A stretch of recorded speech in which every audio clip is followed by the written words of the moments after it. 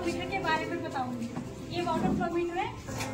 ये यहाँ से ट्यूबवेल में लगाया जाता है जहाँ से पानी आता है। ठीक है? और ये इसका मीटर है जिससे रीडिंग ली जाती है। ये स्टार्ट तब होता है जैसे वहाँ से पानी आया तो इधर से फ़ैन है इधर। ये चालू हो जाता है। चालू होने के बाद ये मीटर चालू होगा। तो चालू होने के बाद इसमें रीडिंग्स आ, आ जाती है। जैसे पानी होता है जैसे हमने जितना पानी दिया है फ़सल को उसमें जितना पानी आएगा तो